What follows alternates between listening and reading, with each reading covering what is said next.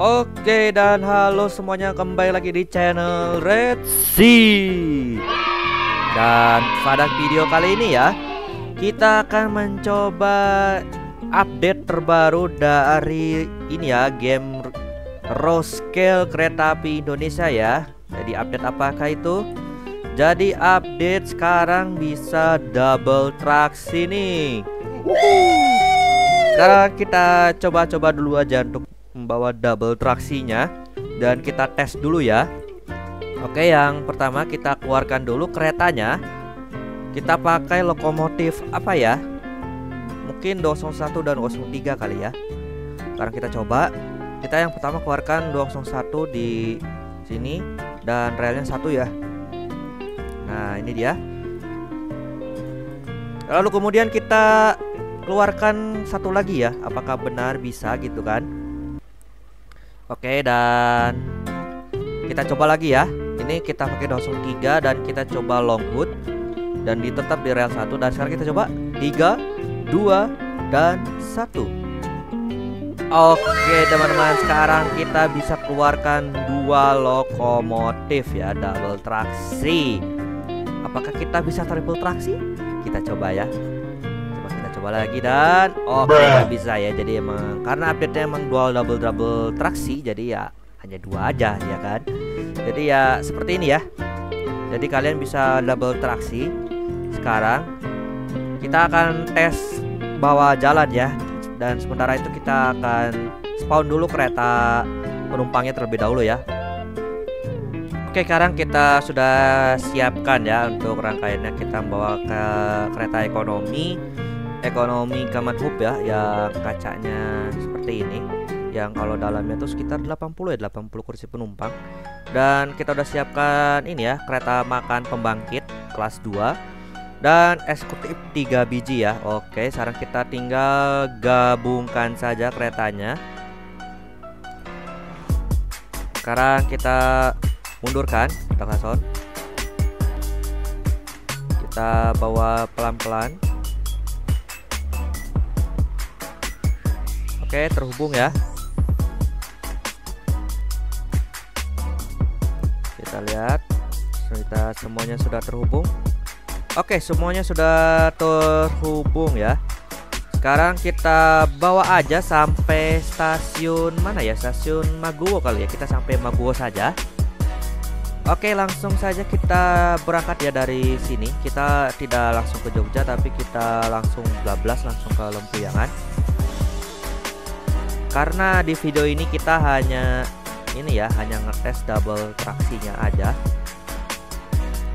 Dan kalau kalian sering bermain game ini jangan lupa kalian daily reward ya. Jadi lumayan kalian dapat uang. Nah kan seperti ini. Dapat 200 ribu lumayan. Dapat 200 ribu tuh lumayan buat kalian nabung-nabung ya. Mau buat yang belum lengkap beli rangkaian kereta ya kan kalian bisa bisa lah daily reward dulu ya.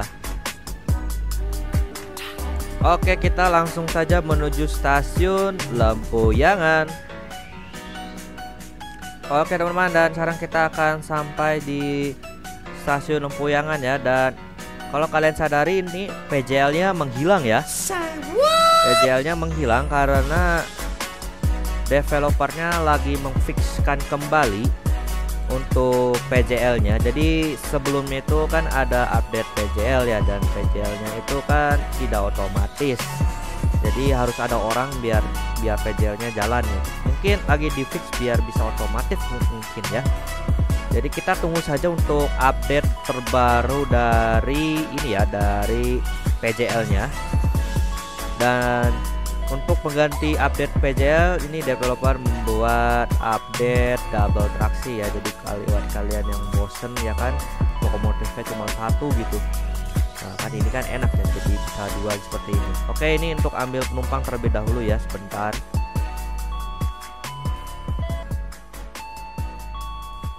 Oke teman-teman. Uh, penumpangnya sudah pada naik jadi kita berangkat aja ya Kita sampai stasiun Maguwo aja Karena kita hanya membahas double traksinya saja ya Klakson lupa klaksonnya Sekarang kita berangkat saja menuju stasiun Maguwo ya. Let's go. Oke teman-teman, sekarang kita sudah memasuki stasiun Maguwo ya. Dan sekarang kita mulai pelankan keretanya karena kita akan stop di sini. Dan kalau kalian ingin ambil penumpangnya jangan lupa ya untuk merubah relnya. Karena kalau kalian di private server tentunya kan relnya jadi lurus. Nah, oke. Okay. Sekarang pelan-pelan kita akan stop di peronnya ya.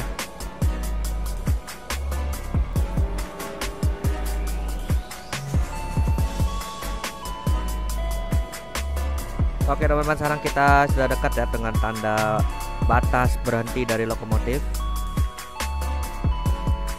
Oke sudah selesai ya dan ada penumpang 18 jadi untuk update kali ini sekarang kalian bisa ini ya bawa dua lokomotif ya.